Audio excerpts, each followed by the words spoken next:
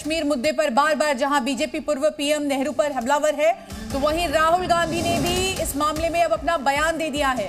राहुल ने कहा कि पंडित नेहरू ने अपने जीवन के कई साल जेल में बिताया। अमित शाह जी को इतिहास की जानकारी नहीं, वो इतिहास दोबारा लिख रहे हैं। इस देश का मुख्य मुद्दा है कि देश का पैसा कहाँ जा रहा है। नेहरू ने मतलब अपनी लाइफ दे दी।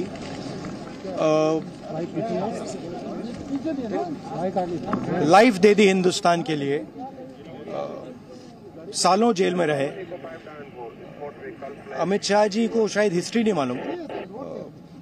वो तो मैं एक्सेप्ट एक्सपेक्ट ही नहीं कर सकता हूँ कि उनको हिस्ट्री, हिस्ट्री मालूम। वो तो हिस्ट्री को लिखते री, रीराइट करते रहते हैं। ये पूरा का पूरा डिस्ट्रैक्ट करने का है। बेसिक इशू जाति जनगणना और जो भागीदारी है इस देश की जो धन देश का है वो किसके हाथों में जा रहा है? ये मेन इशू है।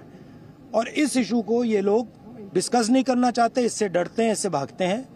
मगर ये इशू को हम आगे ले जाएँगे और जो गरीब लोगों का हक है वो हम उनको दिलवाएँगे। जी न्यूज़